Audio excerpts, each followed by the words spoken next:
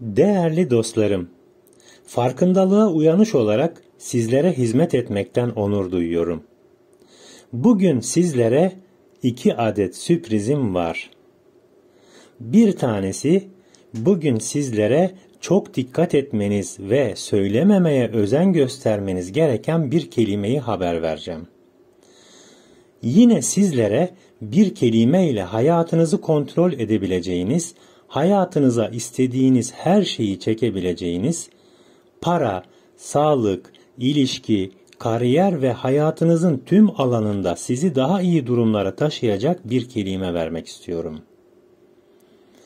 İkinci sürprizim ise sadece olumlama ve meditasyon üzerine yeni bir kanal açtım.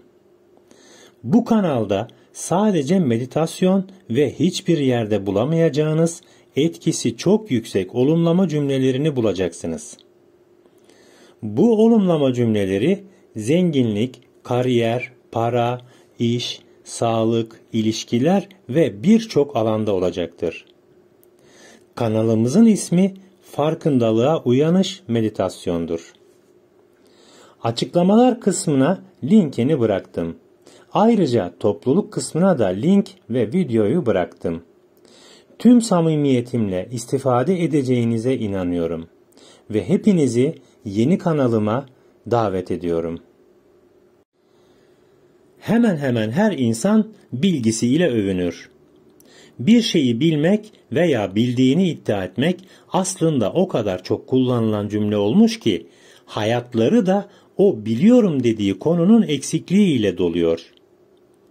O biliyorum dediği konunun ya da bir şeylerin eksikliğini hayatlarında görüyorlar ve yaşıyorlar.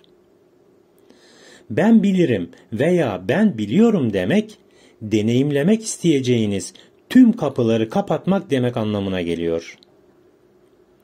Ben konuşmasını biliyorum demek ile konuşmanızı o bildiğiniz kadarıyla kalmasını garantilemiş olursunuz. Konuşmanızı daha akıcı hale, daha iyi hale gelemeyeceğinin garantisini de kendiniz vermiş olursunuz. İnsanlar kazı kazan, şans topu veya piyango gibi şans oyunlarını ben biliyorum bana çıkmaz. Ben biliyorum yapanlar kazanır diye bir düşünce ile oynarlar. Ve kendi kendilerine kendi şanssızlık duvarlarını da örmüş olurlar. Sonuç olarak kazanamazlar tabii. Bu düşünceleri değiştirerek hareket ettiğinizde mesela piyangodan bir miktar para çıkmasını deneyimlemek çok iyi olur kazı kazandan bir miktar para kazanma deneyimi benim için iyi olur demek gibi. Bu iki cümlenin açılımı şudur. Ben piyangodan para kazanmasını bilmiyorum ve deneyimlemek, öğrenmek istiyorum demektir.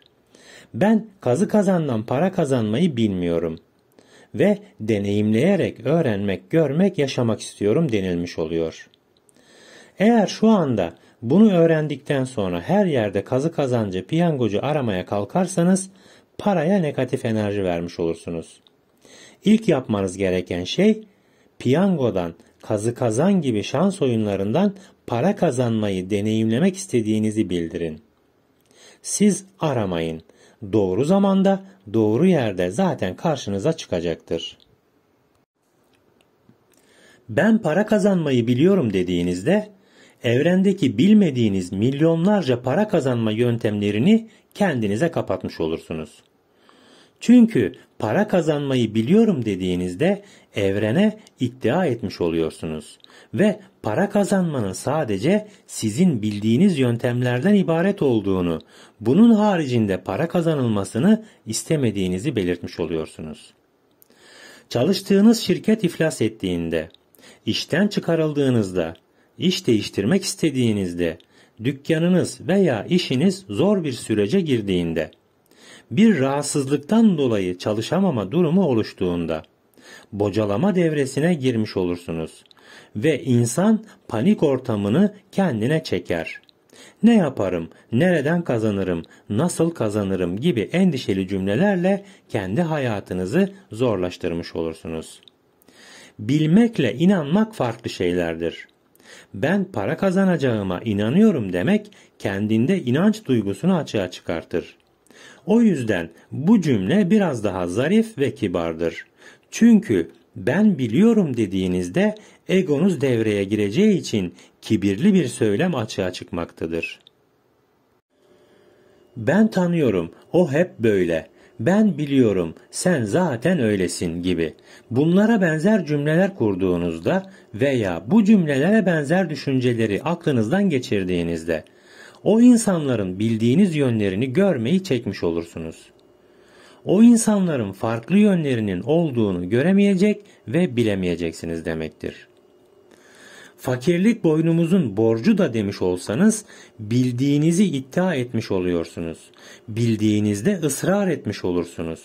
Fakirliği hayatınıza çekmekle kalmaz, hayatınızda fakirlikten başka bir durumu deneyimleme imkanını da yok etmiş olursunuz. Kuantuma göre düşünceler ve kelimeler sayesinde söylediğimiz ve hissettiğimiz durumları çekmiş oluyoruz. Farkına varmadan bilinçsizce söylenmiş olan bazı kelimeler insanın kaderine dönüşebiliyor. Bir kelimeyi sadece birkaç kere kullanmak sorun olmaz. Ama daha fazla ve daha fazla enerji vererek söylendiğinde özgür ve hür olarak yaşadığımızı düşündüğümüz bu hayatta kendi ayaklarımıza prangalar takmış oluruz. Deneyimlemek kelimesi bir şey istemenin en güzel versiyonudur. Cümlelerinizde deneyimlemek kelimesini bilinçli ve daha sık kullandığınızda istediğiniz durumu kendinize çekmeniz çok daha kolay olacaktır. Mesela birkaç tane güzel örnekler vermek iyi olacaktır. Parayı tutmayı deneyimlemem harika olur.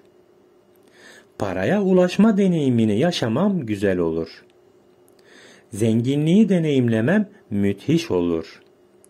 Bir konu hakkında bildiğini iddia etmek yerine kendini kısır döngüye sokmak yerine bilmediğini ve onu yaşamak ve deneyimlemek istediğini söylemek çekim yasasını çalıştıran güç olacaktır.